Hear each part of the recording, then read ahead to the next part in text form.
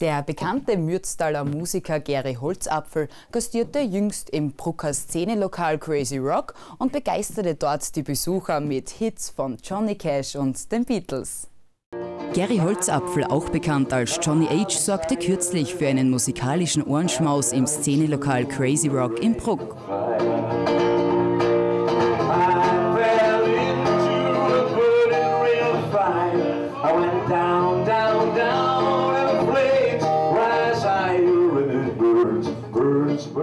Ja, eigentlich äh, alles von den 60s bis jetzt.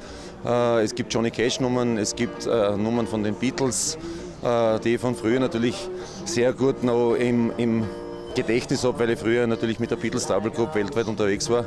Und äh, ja, die 60s, 70er Jahre und äh, diese Sachen äh, sind die Sachen, die ich eigentlich gern spiele und immer wieder spiele da drinnen. Ja.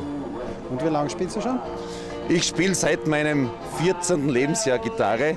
Mit sechs habe ich Geigenspielen angefangen. Und äh, Musik eigentlich ja, seit, seit, seit meiner frühesten Kindheit, kann man sagen.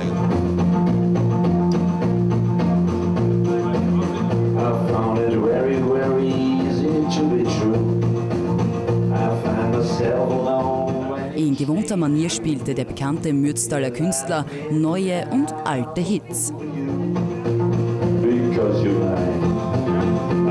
I'm so line.